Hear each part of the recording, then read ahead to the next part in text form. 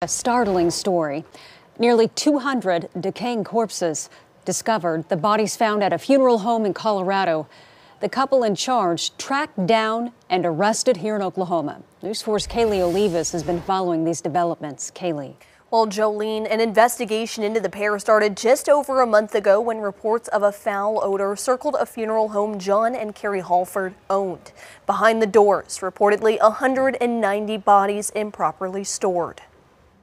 It's absolutely shocking. It's horrendous tragedy. Four words, summing up a month's worth of investigating. The Fremont County Sheriff's Office in Colorado has been looking into Jon and Carie Hallford since October 4th after a report of a quote, foul odor circled a funeral home they own.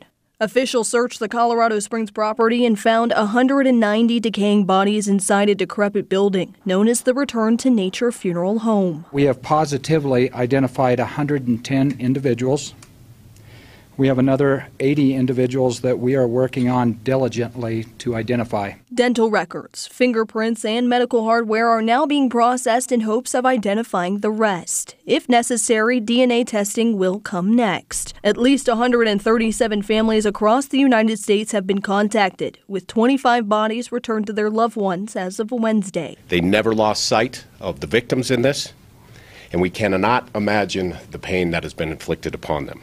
We're here to support them and we'll continue to be here to support them.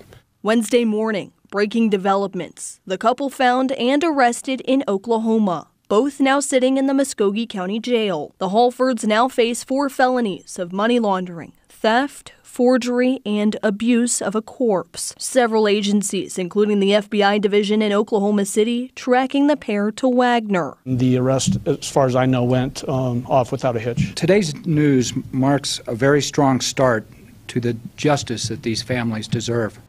Well, right now, the couple's ties to Oklahoma aren't clear. Court records in the case are under seal for the time being, and their extradition process will start today. Both of their bonds are $2 million cash.